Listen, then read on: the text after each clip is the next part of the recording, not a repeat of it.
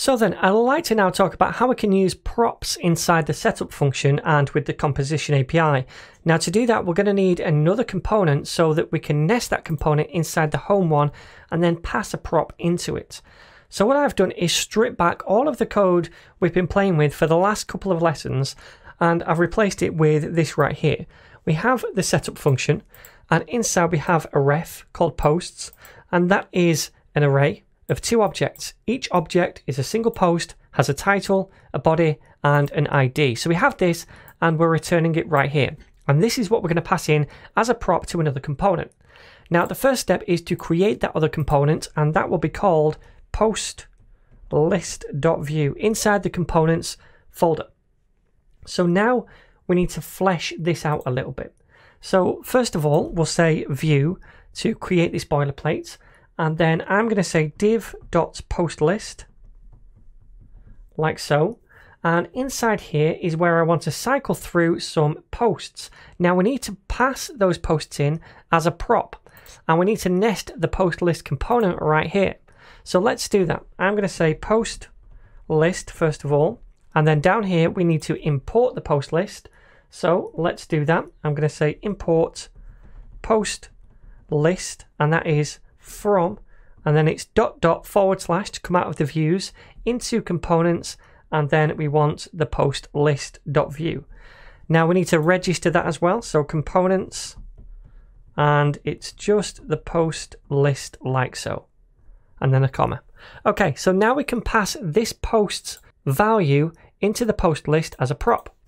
So we'll data bind, we'll call the prop posts and set it equal to posts. That's all we need to do. We're just passing it in as a prop, same as normal. Okay then, so inside the post list, we can now accept it. But how do we accept it? Well, we still need to say props down here inside the component object, and that will be an array, and we want the posts. So that's the first step. Now, we can use the posts just as normal now inside the template. So nothing's really changed at the minute. The only thing changing is how we're creating the posts and returning them so we can use them over here. So now I have them, I can do something with them. So what I'm going to do is cycle through them. So I'll say div, and then we're going to have a v hyphen 4 and set that equal to post in posts.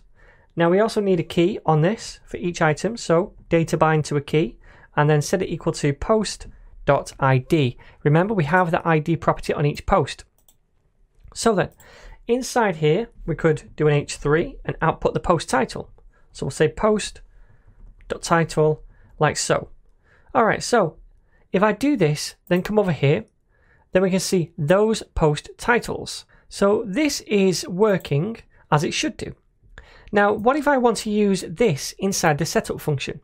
Well, I would have to say setup, and then we can take in as a first argument to this props, and then we could access them inside this setup function. So I could say console.log props like so. I'm going to save this, and then I'm going to refresh, and we can see now this is a proxy object, and inside that we have, if we open these objects, the post property.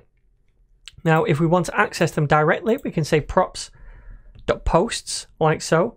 Save that. And now we can see, if we scroll down, we get this object, which is just the posts right here. Don't worry too much about what this proxy means. This is just like a wrapper wrapping around the object. But if we want to work with them inside the setup, we can just say props.posts. Now then, I'd also like to create a further component and that will be called single post. So let me do this. I'm going to say single post.vue and inside this I'll boilerplate our components and this is going to be for a single post. So what we'll do is instead of the H3 here, we'll nest a single post and we'll pass in as a prop the post. So I'm going to say post is equal to post like so. And that's all we need to do. Oops, let me just format this correctly. Like so, that's all we need to do now. We have access to the post because we're cycling through the posts right here and we're passing it in now as a prop to single post. Now, in order to use this, we need to import it. So let's do that. Import single post from, and it's dot forward slash because we're in the same folder, single post dot vue, and then down here we'll say components, and it's just the single post like so. Okay, so now we can accept a prop inside this component, and I'll do that here. I'll say props, and then post. Now we can do something with this. So what I'll do is come to the template and create a div with the class of post and inside that I'm going to output the post title. So I'll do an h3 for that and say post.title. So this should still work if I come over here and refresh we can see the titles are still there. Now this time around I also want to output a post snippet. So imagine we had a lot of content for the body right here. I don't want to output the whole body. I just want to output a snippet of the body. Maybe the first 100 characters or something like that. So the first thing I'm going to do is replace all of this with a load of lorem ipsum and save it. Now, if I was just to output the post body, let me do this, p and then post dot body, like so, then it's going to output the whole body like this. I might just want to output like this much or even just this much or something like that as a snippet for the homepage. And then when we see the blog details later, then we'd show it all. So how do we create this snippet? Well, I'm going to come inside the setup function and I'm going to accept the props. And in those props, we have the post. So I'm going to say const snippet is now equal to a computed property. Press enter. Make sure it imports that right here. And inside this computed, we're going to fire a function and it's going to return a snippet based on the post that we have on the props. So return and then props.post and then dot .body and that's the property that we want to kind of make a snippet from. Remember, if we take a look over here, this property is the body. And to make a snippet, we're going to use a string method called substring. Now this takes in two arguments. Where do we want to start and where do we want to end? So we start at the zero position, the start of the string, and we'll go up to 100 characters. And this returns to us the first 100 characters of the string. We're going to tack onto that as well three dots at the end, or four dots, just so we know there's more to this. So now if we use this snippet in our template, it's going to get us the first 100 characters and these few dots at the end as well. But first of all, we need to return it so we can use it in the template. Return the snippet like so, and then we can output the snippet right here. So save that and preview, and now we just see a snippet right here, which is better. So hopefully you can see how we can use props a lot of it is the same way. We just pass in props as normal, like this, but if we want to use them inside the setup, we have to take them in as the first argument, and then we can use the different properties on the props. Earlier on in the course, we saw that we could use lifecycle hooks inside component objects. Something like this. We could say mounted to run some code when the component mounted, or updated to run some code when the component updated. For example, if our data changed and it had to reflect that change in the template. Now we can still do that when we're using the setup function as well. There's nothing wrong with doing that, but we can also use lifecycle hooks inside the setup function. Now the way we do this is just by importing whatever hooks we want from Vue. And there is a slight change in the name of the hooks as well. The only change is it's on before each of the hooks. So instead of mounted, it would be on mounted. Instead of updated, it would be on updated.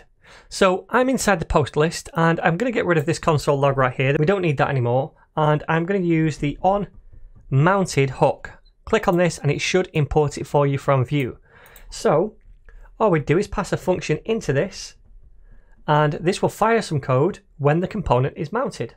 Now all I want to do is log something to the console. So console.log and I will say component mounted. Now we can do other hooks as well. So we could say on unmounted, for example, and it should import that up here.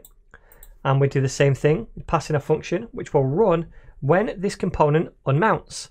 So again, I'll just say console.log and I will say component unmounted.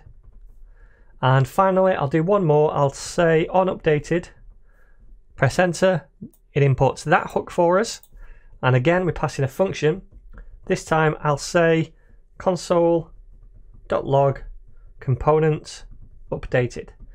So this will happen whenever any kind of data change happens, which will force a re-render. So in our case, maybe if the posts change that we pass into this component, because if they change, then this stuff right here is going to change. We'll be passing different posts in. So what I'm going to do now is just save this and open up the console over here. And I'm going to just get rid of that. I'm going to refresh and we can see component mounted. Now we don't see the others because there's no updates and we're not unmounting the component. So what I'm going to do is go to the home component and I'm going to implement a little bit of functionality whereby we can hide and show the posts, in which case this component is going to unmount if we hide it, and also where we can change the posts, in which case we're going to run the on updated hook. So the first thing I'll do is create a button right here and inside that I'll say toggle posts. So I want to be able to hide and show this based on a user clicking this. So I'm going to create a property inside setup and this will be a reactive property. So const show posts is equal to ref and we want this to be true to begin with so they do show and we also need to return it down here like so and what I'll do is only show this if this is true so I'll say over here the if is equal to show posts. So if this is true, then this will show. The minute it turns false, then this component is going to unmount. It won't show anymore. And at that point, it will run this function. So let's toggle that using this button. I'm going to say at click is equal to, and we'll say show posts is equal to the reverse of whatever show posts currently is. So if it's currently true, it will turn it to false and vice versa. So let's save that and give this a whirl. And I'm going to get rid of all this right here. So if I refresh, we can see component mounted. If I click on this, it should hide this and we can see component unmounted. Toggle again, component mounted, toggle again, component unmounted. All right, so we can see that that lifecycle hook right here is working and it's firing whenever the component unmounts. So let's now try and fire this one by changing the post data. To do this, I'm going to create another button and inside the button I'll say delete a post. And all we'll do now is attach a click event to this whereby we take the posts and we use the pop method on it and that just basically removes one from the posts array. We have access to this because we have the posts returned to us and we can change it directly in the template by using this pop method.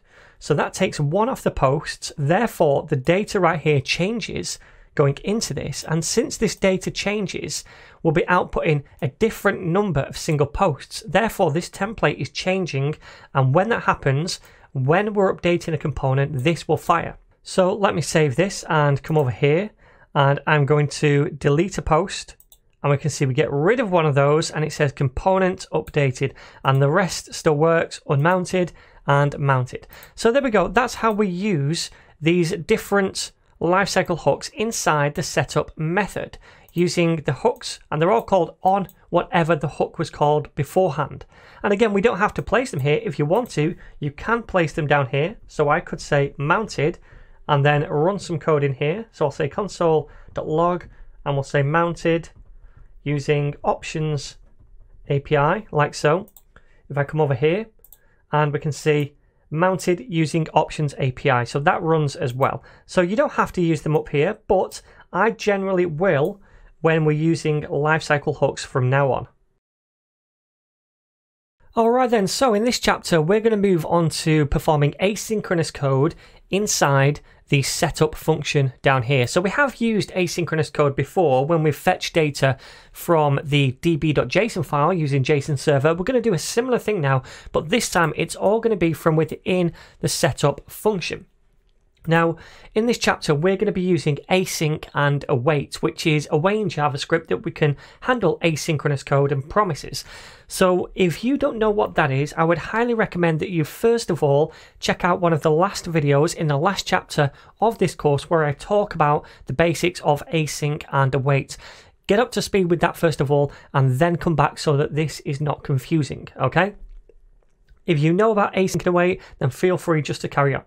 Anyway, what I'm going to do is I'm going to create a new data folder over here because we're going to create a db.json file again, db.json, and we'll store all of our data in here. Again, later on we will be using a database, but for now I just want to store it in db.json and I'm going to paste this data in from my repo. And it's just one resource. We have posts, that's an array, and there's two objects inside it. So two posts. Each one has an ID, it has a title, it has a body, and also some tags, which is an array of different strings, different tags. Okay, so each one of these represents a blog. That's the data that we're going to be working with. The next thing I want to do is install the JSON server package. So let's open this up and install it for this project we'll say npm install json-server and press enter. And now that's installed, I'm going to use JSON server to watch our DB file. So go into the data folder and then we want the db.json file. Press enter. And now we have access to this endpoint for the posts. Cool. Okay, so next what I'd like to do is delete all of the data that we create inside the setup function because now we're going to try and get the data from the DB file instead. So I'm going to delete these two objects inside the array, but I'm going to keep the array as the initial value for posts. We're going to keep this ref to store our posts in once we've fetched them. So to begin with, it's an empty array. After we fetch them, we populate that array. Now I also want to make another ref and that is going to be called error just in case there's an error with the request. Now it's going to be null to begin with, but if there is an error later on, we'll populate this value as well. All right, so now let's try and fetch the data. Now, like I said, we're going to be using async and await to do this. So first of all, I'm going to create an async function and I'm going to call that load. So we set it equal to an async function like so. And that means that now, because we've denoted this as async, we can use the await keyword inside this. Now, I want to place my logic inside a try catch block like this. And the way a try catch block works is that we try to do something. In our case, we're going to try to fetch the data, and if it works, great. It doesn't use this catch block. If it doesn't work and there's an error, this catch block will catch the error and we can do something with it. That's how try catch works. And this is generally the approach that we're going to take when we're working with async and await. So then, let's now get the data. I'm going to create a variable called data and set it equal to a await and we want to use the fetch API to do this.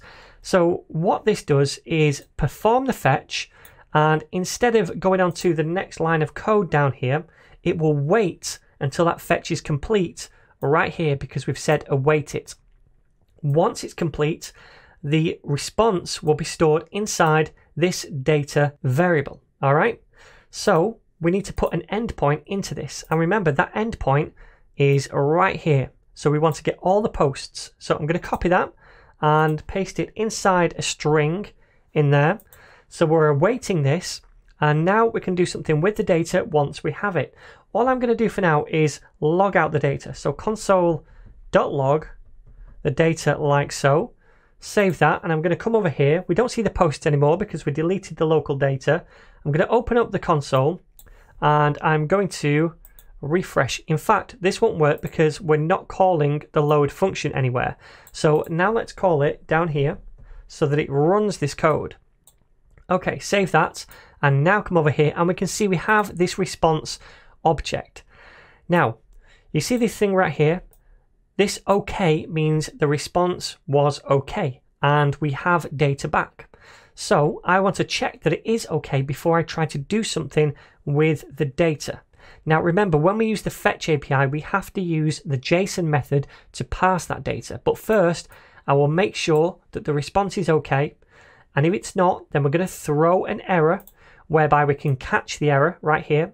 If it is okay, then we'll pass the JSON and we'll use that data.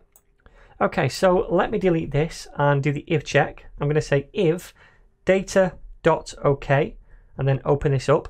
Now this is if the data is okay, but I only want to run this bit of code that I'm going to create here if the data is not okay. So all I need to do is place an exclamation mark right here. So now if it is okay, then this whole statement will be false and it won't run this. If it's not okay, the whole statement will be true and it will run this. And that's the scenario that I do want to run it when the data is not okay because now I can throw an error. So I will throw the error and I'll say no data available. You might create better errors in your applications and we'll probably do that later in our other projects, but for now, this will do. So when we throw an error right here inside the try block, this catch block will catch that error. And this error will now be this error that we've created right here. And we can do something with that error.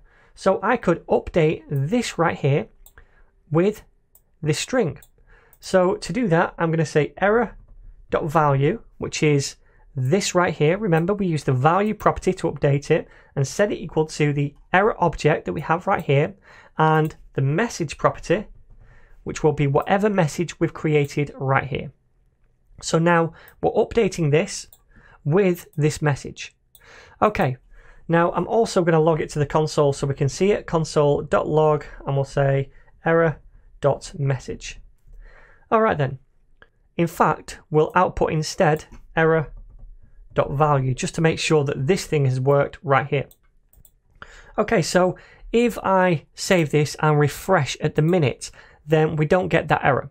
But if I was to come over here and just change this to post instead, which doesn't exist, then we see no data available. So we're catching that error and we can do something with it. And later on, we could output it in the template. But for now, we won't bother with that. Okay, so let's change that back to posts.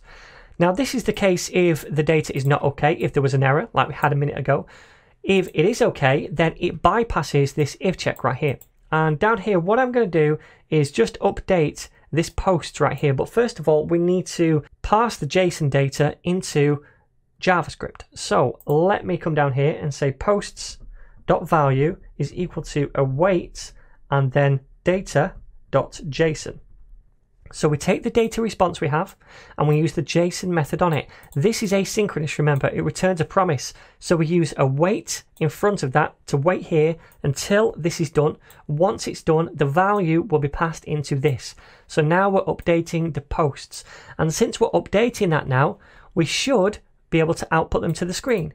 So let me save this and preview and we can see now they're on the screen. Awesome.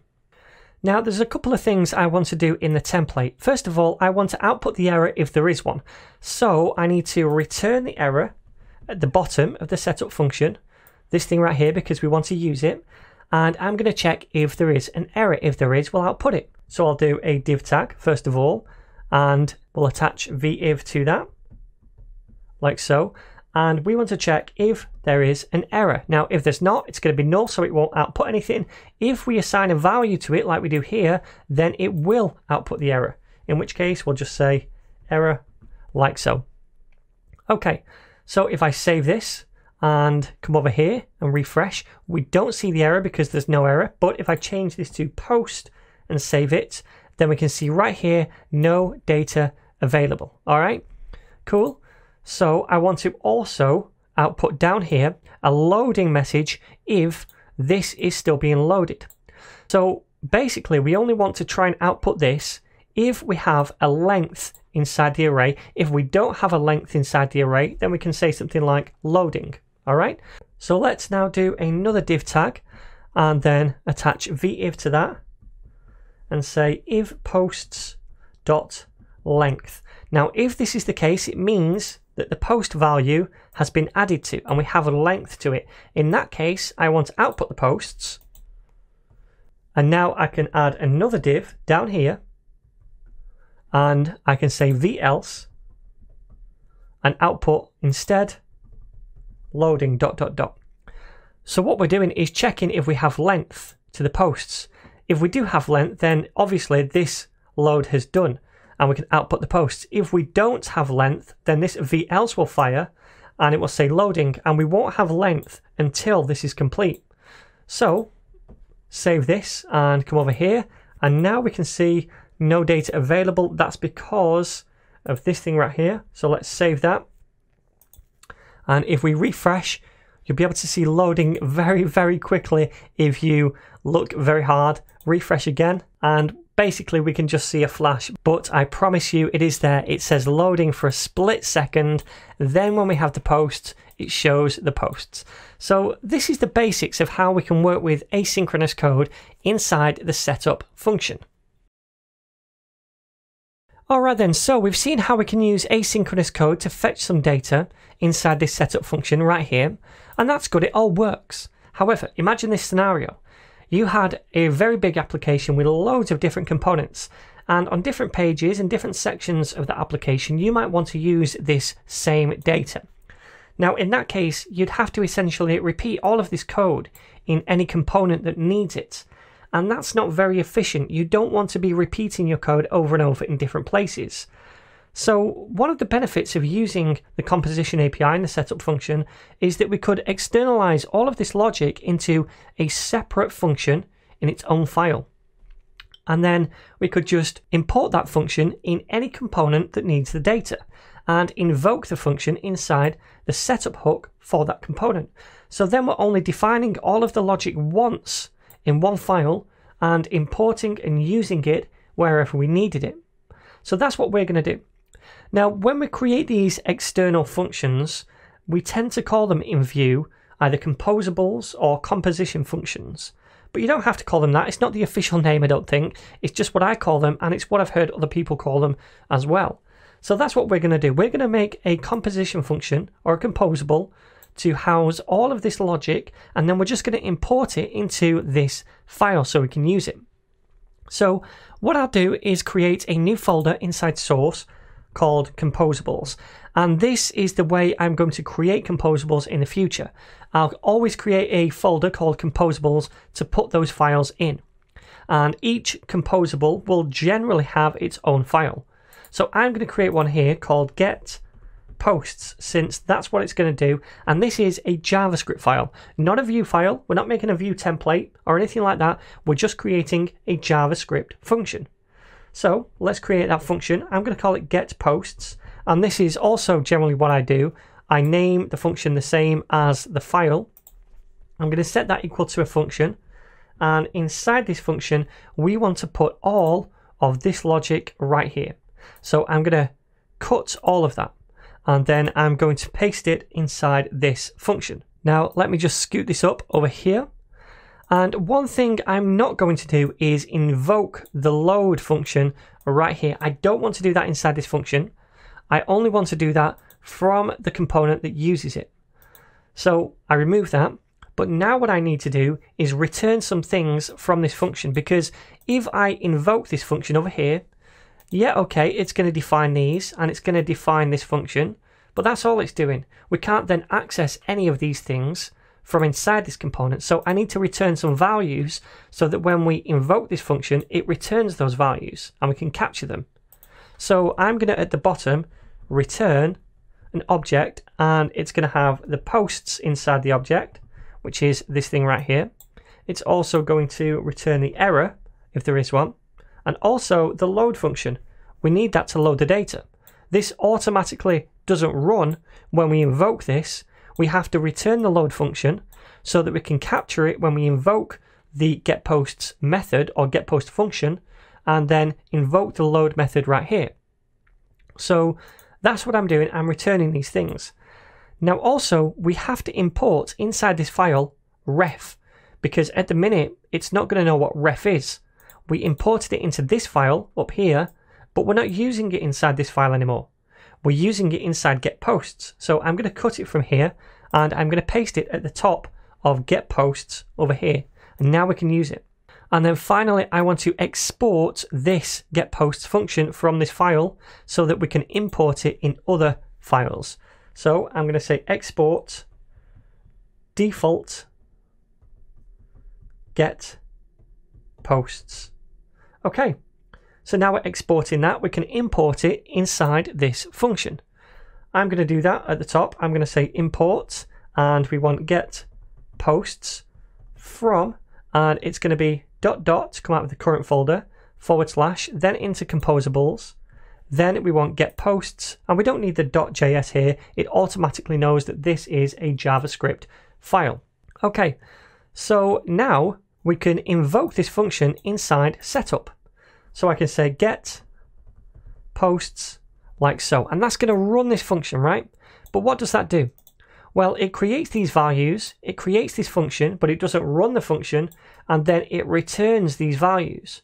So we can grab them from this because this returns those values. So I can say now const and then do some destructuring to get values from this. And all we need to do is place inside this object any of these values that we need. So I could get the posts from there, the error from there, and also the load function from there. And now I can use any of these inside this component. So I want to use the load function to invoke that load method. That will actually run this function. It will get the data. It will update the error if there is one right here. And it will also update the posts once we get them. And don't forget, we're returning those and we're grabbing those here. So now we can use them inside this function. So initially, when we invoke this function, post is going to be an empty array, and this will be null. But after we use the load function, then after a second or so, this right here will have a value, or this will have a value if there's an error. Does that make sense? And we're still doing the same thing down here. We're returning these values, posts and error. So all of this is still valid up here as well we can still use post and error. So this is a much better way to organize all of our logic.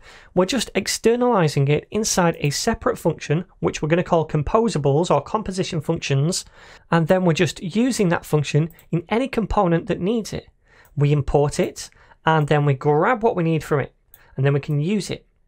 All right, so let's save this and refresh, and hopefully everything still works. We saw loading for a second, and then these appear like this. Now, if I go over here and change this, we should see an error. Come over here and we see no data available. All right. So this is all working. And we're going to be creating several different composables or composition functions throughout the rest of this course. So don't worry, you will get more practice at this. Now there is actually one more thing I want to do in this video and that is to go to our single post component and also output the tags because remember if we take a look at the data we have this tags array as well and now we're fetching this data we can access those tags and output them. So let me go to the single post component again and we have the post title, we have the snippet and now I'm going to cycle through the tags. So I'm going to say span first of all, and then attach a v-for to this so we can cycle through them. And that is going to be for tag in and it's post dot tags. So we have the post available to us and we're just accessing the tags property on that post. We're cycling through them and referring to each one as a tag. So now we can output them. But before we do that, we need a key. So let's bind to that and set it equal to tag. And we're going to make it so that tags are unique. So a post can't have the same tag twice. So this key will be unique. Okay, so inside that, I'm just going to output a hash symbol because a lot of tags have that before them and then output the tag itself. So if I save this now, we should see all the tags for each post as well. Okay then, so now what I'd like to do is create a details view, a details component, so that if we click on one of these posts right here, then it goes to the details for that post. And instead of just showing a snippet, we show all of the content for the post. So to do this, we're going to have to set up a details component, a route for that details component, and then we're also going to have to fetch that single post. Now, we're going to create another composable function to make that fetch to create a single post. We have a composable for getting all of the posts, but we'll make one for a single one too. So the first thing we need to do is create the details component inside the views folder. So details.vue. I'm going to boilerplate this and inside the template, I'm just going to say details, just so we know that we've landed on this page if we view it. Now the next thing I want to do is go to the router file and create a route for this component. So another object, the path is going to be forward slash posts forward slash and then a route parameter called ID. So that will be the ID of the post that we want to view. Now the name of this route will be details and then we also need a component for this. Oops, component and that will be the details one. So we need to import this at the top. So I'll duplicate this and change home to details like so. Now I'm also going to say right here props is true so that if we link to this page we can access the route parameter as a prop inside the details component. So now we do need to link to this page and we're going to do that from the single post. This is where we output a single post right here. We're going to place a router link around the H3. So let me create this router link like so and then I'm going to close this off open it up and I'm going to paste this H3 inside the router link. Okay, so where do we want this to go? We'll say 2 and set it equal to an object and we've put a colon right here so we can use the object with data binding and the object will have a name property which will be details that's the component we're going to but also we need the params property because we're sending in a wrap parameter and the route parameter we need is the ID, and that will be the post.id. Remember, we have that inside the data, the ID property on each post. So we have the post right here. We have access to that inside the template. And so we can just say post.id. So now if I was to click on one of these things over here, it will go to post forward slash the ID of that post.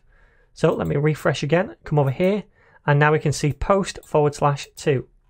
All right then, so the next thing we want to do inside this details component is actually fetch the data based on the ID.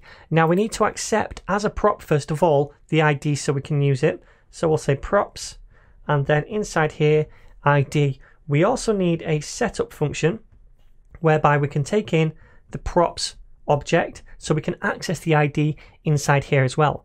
So the next step now is to create that composable function to fetch a single blog post using this ID. So then let's create inside the composables folder a new file called get post.js to do this. So this time get post, not posts. All right, so the first thing we need to do is import the ref value from Vue. So I'm going to say import and then ref from Vue because we're going to use refs inside this function. Now let's create the function and we'll call it get post and set it equal to a function. All right, so inside what I'm going to do is actually just copy a lot of this code right here from our get post function because it's going to be quite similar and I'm going to paste it in. So this time around we're going to have a reference called post, not posts, and it's not going to be an empty array because we're only getting one post. Instead, I'll set it to be null to begin with. The error is also going to be null to begin with.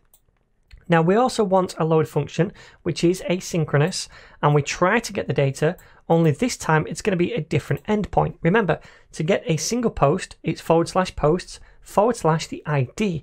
Now we don't have the ID inside this function yet. So when I call this function from inside our details component, I'm going to have to pass the ID in as an argument and then I will accept it inside this function. So now I could just come over here and say tack on the ID to the end and then this is our endpoint. So we're going to fetch that. We're still going to check if we get an OK response. If we don't, then we throw an error and we'll say something else in here like that post does not exist. So if there's a problem getting the post, we'll just throw this error and then down here we catch the error and we update the error value. And then if the data is okay, we bypass this. We want to update the post value this time, not posts. So we change that to post.value. And again, we pass it into a JavaScript object. This is asynchronous. So we await it and the value is updated after it's done. Okay, and then at the end, we want to return post, not posts the error message, if there is one, and the load function. So that is pretty much done now. Now this is getting a single post, not a bunch of posts. And at the end, we return that post right here. Now I need to export this function. So export default and then the function name which is get post and now all we need to do is use this composable inside the details component. So that's pretty simple to do. All we need to do is first of all import the composable. So import get post from, and we want to come out of the views folder, so dot dot forward slash into composables, and then we want the get post function. So now we can use it inside this setup function.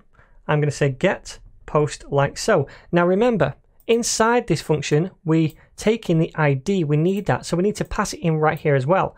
And we can do that by using the props dot ID. So now, since this returns a few values, we can say const and then destructure whatever values we need.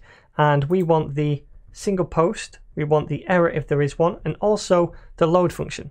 Cool, so now we can invoke the load function to start this fetch. It's going to try and get the data, and then we're either going to get back a post or an error. Now we need to return both of those values so we can use them inside the template, post and error like so. So now we have those, we can go and flesh out this template. Now I want to check if there's an error first of all. So I'll make a div and attach a v-if to that, which is equal to error. Remember, that's null to begin with, but if there is an error, it gets a value and then this will show. And in this case, we just output the error like so. Now I want to do the same thing, but this time check for the post. So another div, and then I'm going to say v hyphen if and set that equal to post. So if we have a value for the post now, then we're going to output this. I'm also going to give this a class so we can style it later on, and that class is going to be post.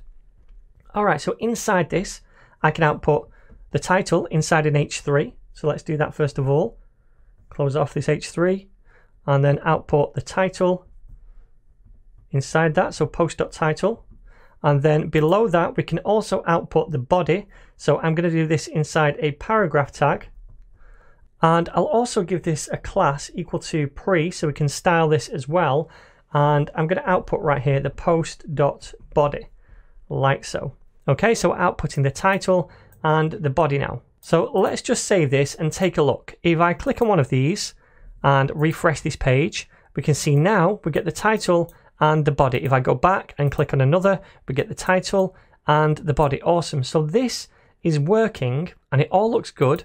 We've created our second composable function now, and this could be reused in any component which needs to get a single post. Now, finally, I just want to add a few styles to style up this and this. So I'm going to paste these in at the bottom. And all I'm doing is applying these styles to the post, which is this thing. So a max width of 1200 pixels, margin zero and auto. Post P, so that's this thing right here. I've said the color is this. The line height is 1.5, margin top 40 pixels, and anything with a class of pre, we're seeing white space pre-wrap so it goes on to the next line. So I'm going to refresh over here and get those styles. It looks pretty much the same so far, but as we go further into the blog, we will style it a bit better as well.